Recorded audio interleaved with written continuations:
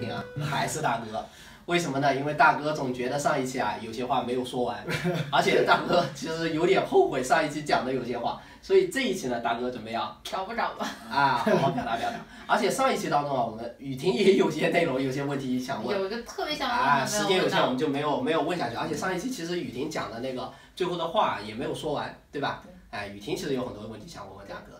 其实对于大哥这嗯个经历，可能我从目前这个年龄阶段，还有一个女生的角度，我对具体的工作细节不是那么感兴趣。我更想知道的是，这个五年这个时间长度嘛，然后你在这个工作的从零，然后慢慢到最后，你有什么心态、想法或者什么观念发生了哎比较大的一个彻底的转变？这方面，就是对工作的认识，从校园走出来到参加工作，嗯，就是你实力能力再强，你都会有不解或者疑不解和疑惑的地方。哎，对的。很简单的讲，就是生工作当中有很多，你你在学校学的都是很理想的东西，很理论的东西，没有问题的。嗯在工作中，你有很多东西是你不可控的。对。你遇到不可控的这些问因素的时候，你怎么去处理，或者说怎么去，当它影响到你的情绪的时候，你怎么去控制它？嗯你怎么让自己去适应它？这个是一种能力，也是一种态度吧。应该更多的是一种态度，而且这个能力，其实在学校里也不见得说能学到。没根本学不到。嗯，真的，嗯，我对于在工作中一开始的时候，我是非常排斥在生活在工作中所出现的这种，因为尤其在境外，你会受到不公正的待遇。嗯哎，这个不公正指的是你公司内的还是跟外国人之间的？绝大多数公司外的，啊，公司外的。公司外的，嗯你回哪怕在国内也是一样的，嗯你在这个单位里头跟到单位外头的一种外联的工作，同样也是存在的。对，嗯但是你当遇到这种问题的时候，你怎么处处理好自己，怎么给自己定位非常重要。嗯嗯，你怎么给自己定位非常重要，你要很清楚的自己想要什么。对。如果只要在不违反道德法律的情况下，你只要达到你的目标就 OK。但是刚参加工作的时候不懂。是不懂的，哎，大哥的这个想法，我看其实对雨婷应该是有冲击的啊，就是说在没有违反道德和法律的这个框架下情况下，有些事情是可以去做的。但是你既然没有违反道德跟法律，那矛盾点在哪呢？对呀、就是这我这个就是这个就是学生他能问出来的对问题，对对是不是啊大哥？对，啊，这个因为因为我想可能是不是嗯大家觉得就是学生做很多事情还是有点循规蹈矩，有些保守对。然后你工作以后发现，就是其实有些条条框框是自己给自己的。然后其实，在遵守道德跟法律情况下，我们可以哎所谓的另辟蹊径，或者是达到自己目标，是大概这个意思吗？其实像现在，嗯现在因为我们的媒体啊来源特别多，对大家多多少鸡汤都听得太多了。嗯但是当你真正遇到那种问题的时候，任何鸡汤给你都没有用。你必须得自己去？经经历。为什么这么说？你在校你比较理想化，你在工作当中所有都是以都是以现实为基础的。嗯。人这个人本来人性这东西比较柔软，就比较多变，你不能拿自己的那套体系去有同样样别人，嗯没有用的。你首先人是一个社会动物，嗯你在这个黑色，你在这个网络里头，你必须要让自己生活在这个网络里头，你就得适应别人。对对，你可以保持本心，但是你还要适应别人。嗯嗯，很多时候有些东西你要想一直去坚持的或者怎么样的话，多多少少是要有一些改变的，嗯对吧？而且总刚走出校园，总感觉自己可以做到非常非常好，但是现实可以告诉你，我。我我也没这自信，就是你想，或者说你想做的非常好，想是当然肯定是。想是吧？对。想是当然，但是当你在真正做的过程当中，其实有很多你不得已的因素，就是你你有竞争，对，对你你有你有你有不懂的地方，嗯。或者说你有这个突发的因素，就是种种种种加到一起的时候，你就会感到自己非常的弱。那你在非洲有没有过说这么一个瞬间或者这么一个时刻？就除了感情啊，我们上次讲感情是吧？呃感情那个挺挺让人难受。除了那个感情之外，有没有一瞬间啊，这个心啊，哇，一又又啊，来一首凉凉，就这个意思，有没有？有非常有嗯，就是非常非非常非常深刻。我这个就是我在第一个项目上参加工作的时候，嗯当时因为知道，嗯，非洲只有雨季跟旱季，雨季的时候雨水特别多，嗯。我是在建筑单位，嗯，他要，就是说他要浇筑这个混凝土，啊，那你下雨干不了活？下午干干不了活，那天就是就是现场的负责人嗯。强行浇了混凝土，嗯，然后就出问题了，他那整个梁啊就是下沉了很多。嗯对，你这做这个，因为有危险呀，监理就让你砸，但是我们肯定是不不能砸的，嗯。砸了一层楼那就一层楼，那这个钱谁来报呢？对呀，嗯。就是不挣钱了呀，对。出去不是为了挣，然后这个叫做实验，做什么实验？就那种荷载实验，就在那个梁上压很多很很大很大的重量，嗯。用一个非常精密的仪器，那个仪器精密到小数点以后七位，啊，就非常精密，就是把它压下去以后，然后再把东西卸载掉以后，能不能回到一个那个安全范围内？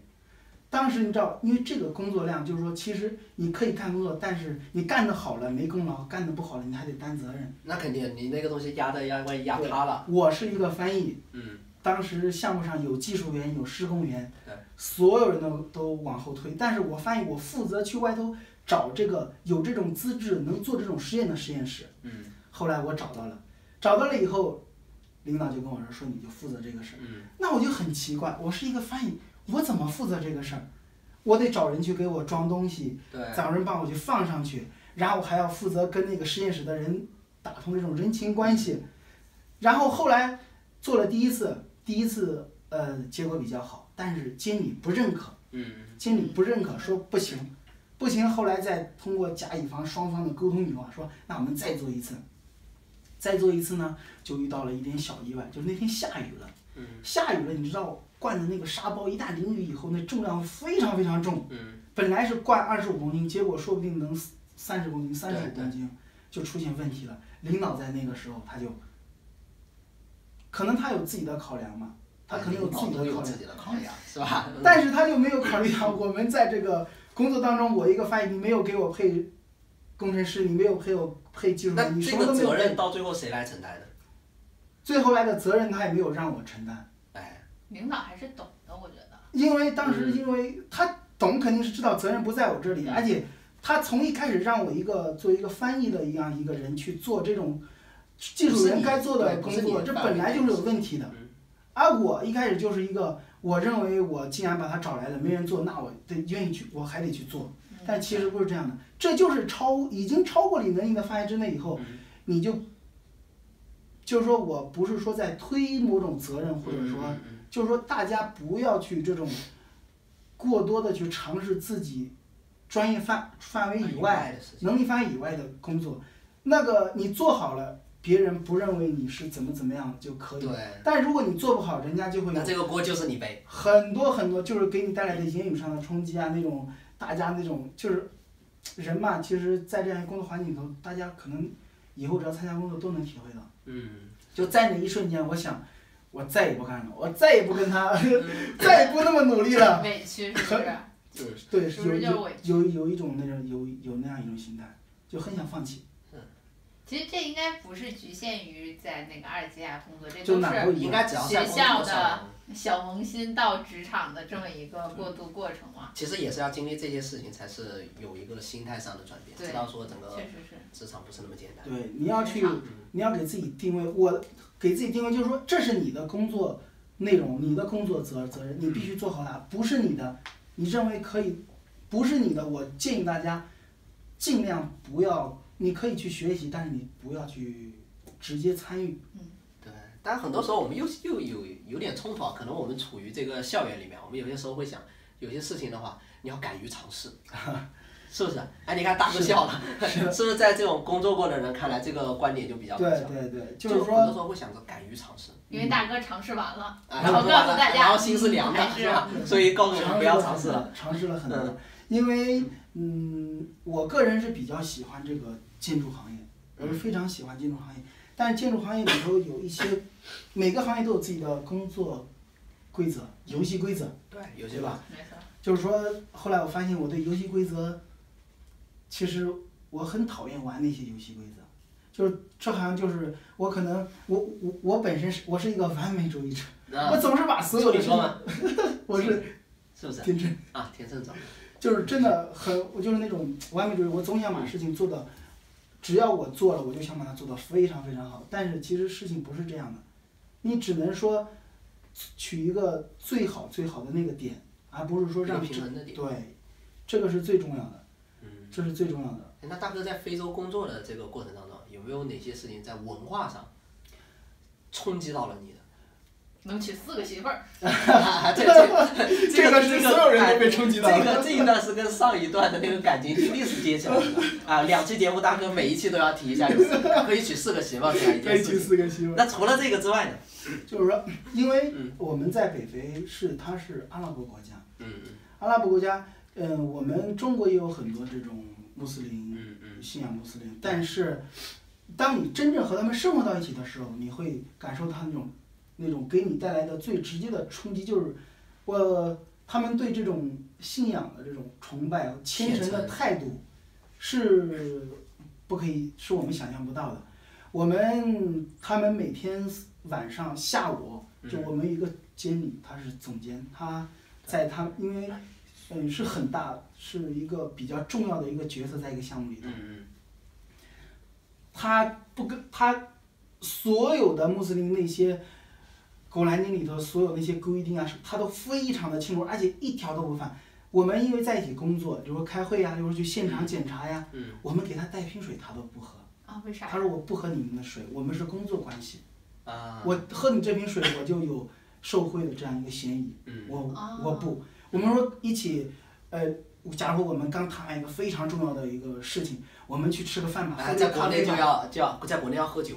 对他们说不，嗯我们只是工作关系。对我们，我我我我不这样，而且他每次做，而且他无数次无数次的跟我讲，Billy，我们你要进我们那个入教的话，我可以介绍你。啊，对，就在法在法国这边也有不少这个那个同学会那个嗯，传教是吧？你你你没有遇到过？我觉得男就是男同学好像机会更多一点，什么机会更多一点？就是比如说有向我们。传教的机会更多一点。不是，就是因为有这边不少可能是阿那个阿尔及利亚的同学嘛，嗯然后那个因为是我一个学长跟我说，他们比如说那个经常一起看球赛或者什么，嗯然后那个同学经常会跟我那个学长中国学长说，哎，我们这个教义怎么怎么样，哎，你要不要考虑加入我们？就是这样的。但这边比较常见到的是，在法国这边比较常见到的是那些基督教的这种传教会比较的多，呃，对对，，是，在那个环境里头，虽然我不是穆斯林，嗯但是我在那个环境中生活了这这么长时间，当我走出来的时候，我要是遇到我有同学是阿尔及利亚的，对就很亲切，嗯，就非常亲切。懂是吧尤其？是你的这对个，对对尤其是你的这个法语啊，跟他们也是亲切。那我们说他们一听也很亲啊，你切。要我们说嘛，很多时候你要是跟一个人，比如说两个人说话，像我跟雨婷，我们两个雨婷是北京的，然后我这边是南方的，然后我们俩说话不经典。但假设雨婷，如果我们第一天见到的时候，我讲的是也是一口那种北尖儿口音的那种腔，啊，肯定亲切。所以语言很多时候是有这个功能的，对吧？哎，乡乡音音，对吧？嗯，是的，而且另外一个就是他们对于这种，呃其实我是挺不喜欢的一点，就是他们对于男女的这种看法，嗯，啊我是我是还是持保留态度，接受，哎，持保留态度的。对持保留态度嗯。我们不不过多的谈论这个问题。啊，是这个你 这个谈的有点严肃了，回去然后其他方面。，他们对于这种，而且他们对于这种自己的文化呀，嗯嗯，这个我就是以我自己的感受，我不带有任何的鄙鄙视不屑，嗯我不带有，嗯只是我抒发自己一下感受吧。嗯他们自己不是没有文化，是有文化的，但是他们对自己的文化是一种很盲目的一种推崇。呃，是他们北非这些国家的本身的文化我我感觉可以，就是他们阿拉伯这种一个，啊，就是当地的一种，我感觉可以引申到阿拉伯世界。嗯他们都是这种，就很盲目的一种推崇自己的文化。其实历史上阿拉伯整个国界，整个历史上阿拉伯帝国应该当时算是对对吧？非常它也是厉害也是领先过世界，对对？他就很排斥，其实他们很排斥外来，或者说很不愿意接纳吸收外来的先进文化。哎，讲到这，我就想听一听大哥在非洲待的这五年啊，就是非洲人对于中国的一个嗯想法跟态度，嗯好还是不好？你先给个结论，还是好，还是好？还是好。哎，对，这但是因为现在出外出外出务工呀，或者说工作的中国人越来越多，嗯嗯，你知道这个行为品德或者说口碑略有下口。碑啊，真的是没这个也有以前好，是实话，这是是实话。这是实话。而且他们对于，他们对，因为他我们生生活在完全两个不一样的这个环境当中，我们是一一年三百六十五天，你天天上班都没有问题，哎，这个是，对吧？哎，我发现我们中华民族还真的是勤奋，真是勤奋。但是他们就不可以，他们哪怕是罪犯，哪怕是去劳教的犯人，他们都不能天天上班，他们还有假期休息。嗯嗯所以说，就是很多可能去非洲的学生、工作人员都遇到过，呃，他们想干活，但是阿尔及利亚对对不想干活。对对对，就是说你很无奈，很无奈，你是有劲儿没地方使。嗯。所以你今天不想放假，我今天我想把这个活做完，人家说了你不允许。哎这就是咱们我我只能做这么多。中方想赶进度，但是那边儿他对跟不上。对对对，这是在国内不可能存在的情况。那他们对于中国是一个什么样的一个看法？我们因为我们生活在法好国，会兄弟，啊，还还哎，那这个评价是好的，这个欣评价是很好的。对心里暖暖了。对，因为你要是对于他们底层的人来说，就是说我们中国到那边给他们提供这种就业机会，嗯，但是对他们稍微好一点的，就是说因为我们之前的呃项目比较大，接触了一些一些比较当地的一些富商有钱的一点就是说高层一点的资产阶级。他们就那样说嗯，他们就是说，而且这是一种他们这种贫富差距比较大，嗯下下层的跟底层的思想建设是完全不一样的，差距非常大。那所以可能对于中国的这个态度也可能是完全不一样。不一样。